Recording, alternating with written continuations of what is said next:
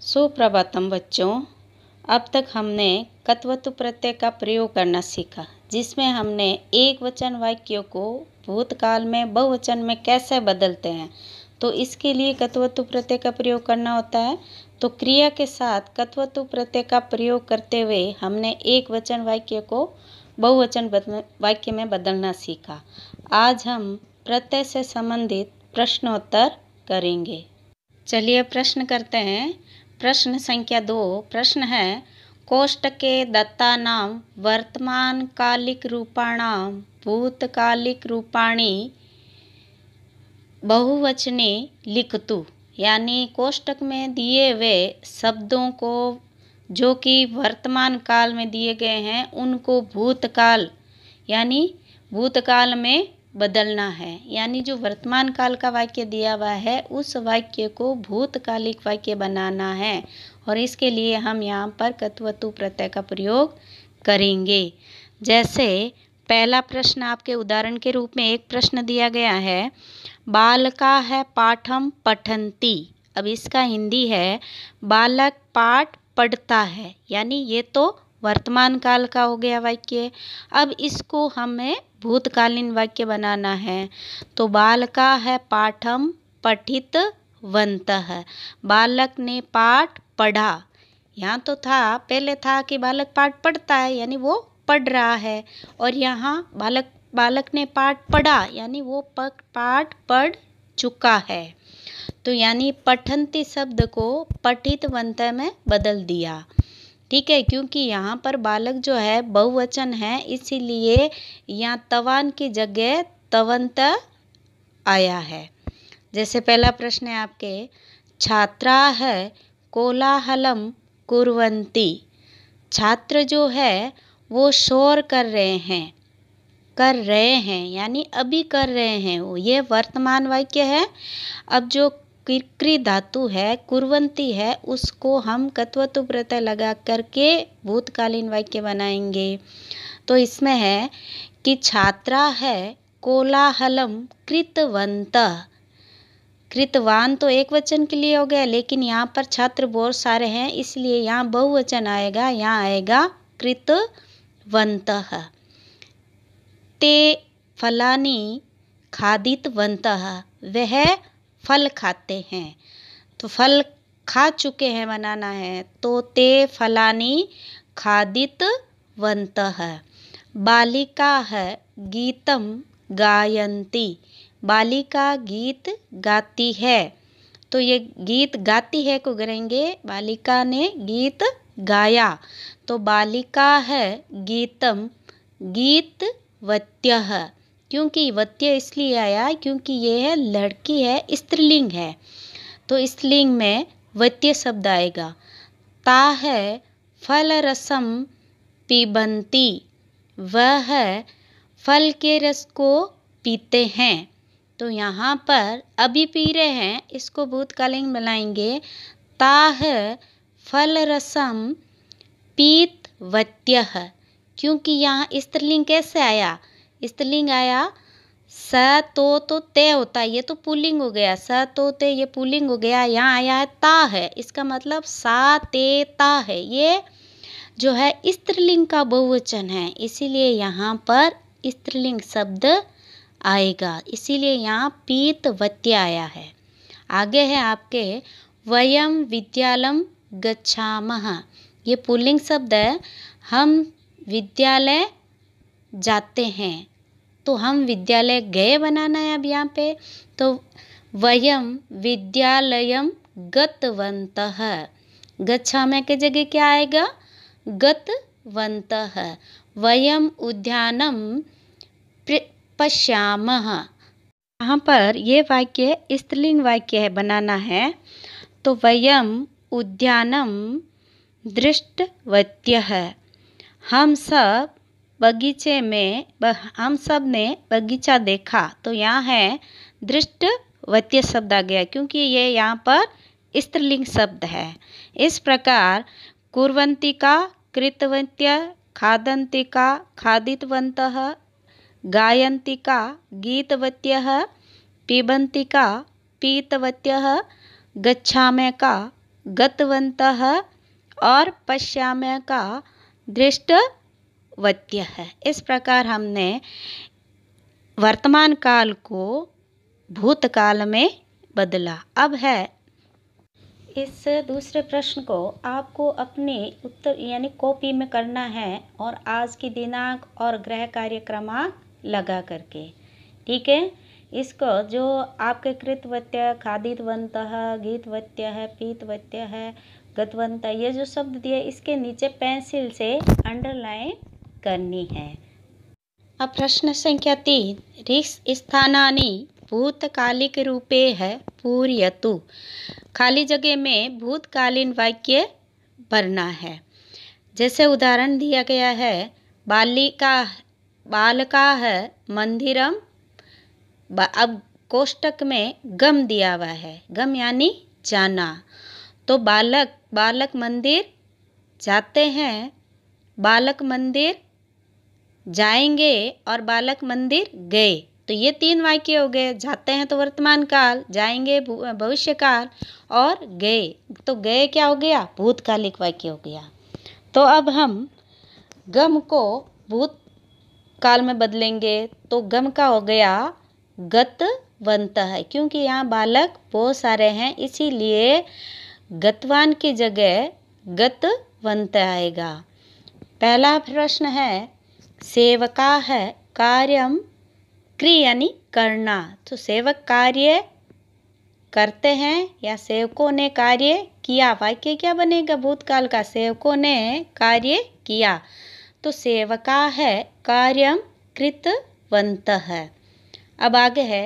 सेविका है पात्रम प्रक्षाल यानी धोना तो सेविका बर्तन धोती है या सेविका ने बर्तन धोए। तो वाक्य भूतकाल का कौन सा है? सेविका ने बर्तन धोए। तो प्रक्षाल का, क्योंकि यहाँ स्त्रीलिंग है, प्रक्षाल का बहुवचन हो जाएगा, सेविका है, पात्रम प्रक्षालित वत्य है। छात्रा है, प्रश्नम पृछ यानी पूछना।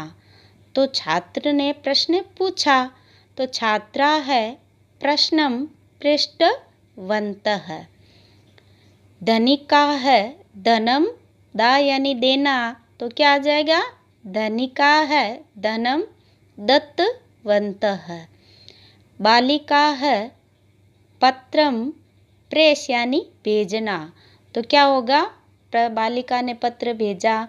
बालिका है, पत्रम प्रेषित वत्य है। वत्य इसलिए आया है क्योंकि यह स्त्रीलिंग बहुवचन है। सैनिका है देशम। अब रक्ष यानी रक्षा करना तो सैनिकों ने देश की रक्षा की। यही वाक्य हुआ ना भूतकाल का। तो सैनिका है देशम, रक्षित वंत यानी जो कोष्टक में दी गई है धातु, इस धातु के साथ कत्वतु प्रत्यय लगा करके उस वाक्य को भूतकालीन वाक्य में बदलना है। एक बार पुनः देखेंगे सेवका कार्यम कृतवंत सेविका पात्रम प्रक्षालितवत्य, छात्रा प्रश्नम पृष्ठवन्तः धनिकाः धनं दत्तवन्तः, बालिकाः पत्रं प्रेषितवत्यः, सैनिकाः देशं रक्षितवन्तः। यानी ये अपन ने यहाँ पर वर्तमान, यानी उस भूतकाल वाक्य में बदला। इस प्रश्न को भी आपको अपनी कॉपी में करना है। अब हम प्रश्न संख्या चार करेंगे। एतेषां वाक्यानां बहुवचन वाक्यानि लिखतु। इन वाक्यों को बहुवचन वाक्य में बदलिए या लिखिए। उदाहरण है, बालक क्रीड़ा क्रीड़ागणे क्रीडितवान। बालक खेल के मैदान में खेला। अब यहाँ बालक जो है, वह एक वचन है। और क्रिया क्या कर रहा है वो? खेल रहा है, खेलना। और खेलना भी यहाँ एक वचन में है। तो हमें बालक क्या हुआ? करता। जो करता है और जो क्रिया है, दोनों को ही बहुवचन में बदलना है। तो किसको बदलेंगे? एक तो बालक शब्द को और एक क्रीड धातु को कत्व कत्वतु प्रत्यय लगा करके बहुवचन में बदलेंगे। तो बालका हो गया। बालका है, क्रीड़ा गणे, क्रीडितवान की जगह बहुवचन हो गया। क्रीडित वंत है। तो अपना उत्तर क्या हुआ? बालका है, क्रीड़ा गणे, क्रीडित वंत है। इसी प्रकार जो नीचे दिए गए हैं, उनको भी करना है। पहला प्रश्न है छात्र देवम नमस्कृत वान छात्र ने देवता को नमस्कार किया। यानी ये तो हो गया एक वचन का वाक्य। अब इसको बहुवचन में बदलना है। तो छात्र को, छात्र का हो जाएगा छात्रा है देवम नमस्कृतवान की जगह क्या आएगा? नमस्कृत वंत। वंत शब्द आएगा क्योंकि यहाँ पर पुल्लिंग है। तो नमस्कृत वान की जगह क्या आएगा? नमस्कृत वान की जगह आएगा नमस्कृत वंत, यानी वान की जगह वंत। यह पुल्लिंग शब्द है, इसीलिए वंत शब्द बहुवचन में लगेगा। तो छात्रा देवम नमस्कृत वंत। दूसरा, शिक्षक पाठम पठित पठितवान शिक्षक ने पाठ पढ़ा। तो यहाँ तो पढ़ने वाला है, यहाँ एक है, क्रिया भी एक वचन की है। तो शिक्षक को शिक्षक शिक्षक शिक्षको शिक्षका है। तो यहाँ बहुवचन क्या आएगा? शिक्षका है, पाठम पठितवान की जगह क्या आएगा? पठितवान की जगह क्या आएगा? पठितवंत है। पठितवान की जगह आएगा पठित वंत है, क्योंकि पठितवान एक वचन है, इसका बहुवचन हो जाएगा पठित वंत है। इस प्रकार वाक्य बना, शिक्षका है, पाठम पठित वंत तीसरा बालिका पत्रम लिखितवती बालिका ने पत्र लिखा।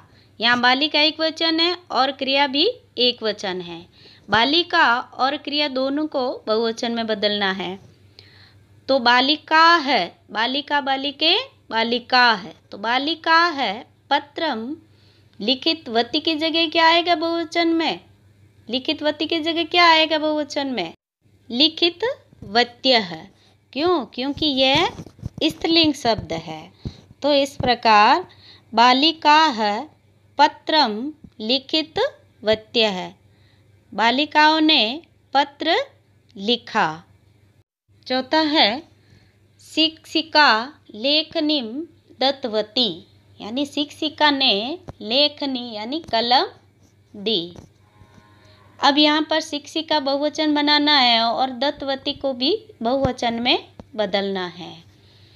तो शिक्षिका है, शिक्षिका की जगह क्या होगा? शिक्षिका है, लेखनी दत्तवती की जगह क्या होगा? दत्तवती की जगह क्या लिखना है? दत्तवत्य क्या आएगा? दत्तवत्य है। शिक्षिका है लेख नेम दत्त दत्तवत्य है। अब है, अहम सरस्वती वंदना कृतवान। अब जो है, अहम शब्द है, उसको बहुवचन में बदलना है। तो अहम, आवाम, वयम। तो अहम की जगह क्या आएगा? वयम आएगा। और कृतवान की जगह क्या आएगा? क्या आएगा कृतवान की जगह? कृतवंत तो कृतवान की जगह कृतवंत आया। अब वाक्य बना, अहम आवाम वयम। तो वयम, सरस्वती वंदना कृतवंत अब आगे, अहम मिष्ठानम खादित वती मैंने मिठाई खाई। अब ये एक वचन है तो हम सबने मिठाई खाई बनाना है। अहम आवाम वयम। वयम खादित वती की जगह क्या आएगा? खादित वत्य है वयम खादित वत्य है इस प्रकार एक वचन वाक्य को बहुवचन वाक्य में बदला, वो भी भूतकाल में। एक बार वापस देखेंगे। छात्रा नमस्कृतवंत शिक्षका पाठम पठितवंत बालिका पत्र लिखितवत्यः शिक्षिकाः लेखनीं दत्तवत्यः वयं सरस्वतीवन्दनां कृतवन्तः वयं मिष्ठान्नं खादितवत्यः अब आप गृह कार्य में प्रश्न संख्या दो व तीन करनी है। ठीक है? अपनी कॉपी में आज के दिनांक, ग्रह कार्यक्रमांक आज आपका पाँच है। लगा करके अपनी कॉपी में प्रश्न संख्या दो और तीन करना है।